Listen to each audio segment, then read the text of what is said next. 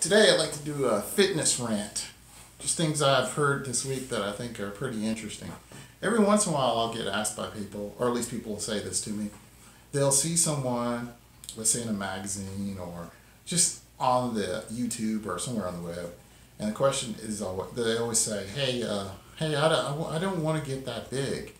And I always think that's pretty funny because there's only a certain percent of the population that can ever get as big as a pro bodybuilder. Uh, you know, I've been training for 30 years and I'm nowhere near as big as some of the pros. I've seen some of the pros in person. Some of those guys are just flat out huge. So I always find that pretty funny. But the strange thing is, you don't know how big you can get until you start lifting, until you apply your effort towards it. So to say you don't want to get that big seems kind of weird because you don't know if you will or won't get that big.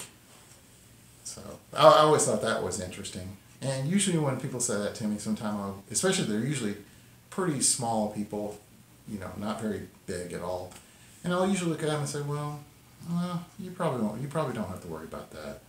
There's just a small part, percentage of the population that can get that big.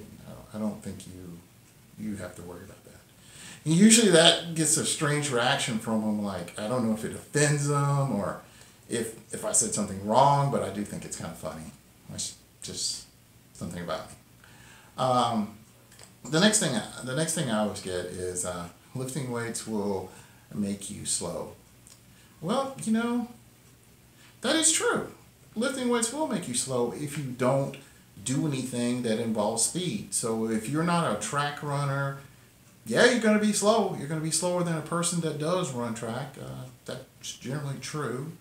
If you don't run anything or do any kind of cycling or anything like that, yeah, you're going to be slow. You're going to be just as slow as someone, the average person. I always find that interesting, people that equate that having um, extra muscle mass will make you slow.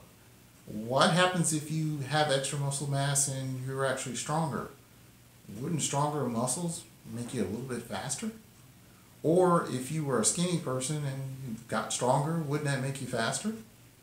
I just I sometimes just don't understand people's logics.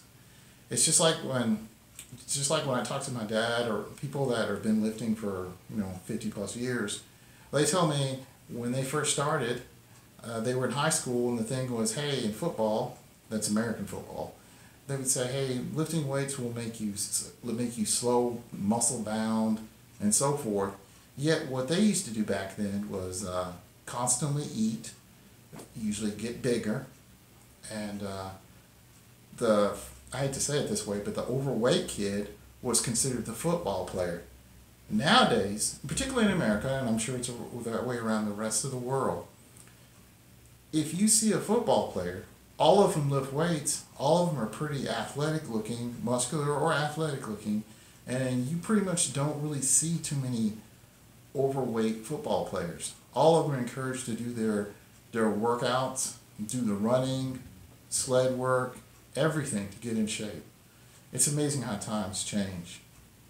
Anyway, that's just a small rant, and I think this is the series that I will uh, continue and just you know make a video every once in a while of rants. If you have anything you would like to discuss or rant, you think we should make a topic about ranting together, put your comments below and I'll make a video on it we can talk about it. Thank you for watching.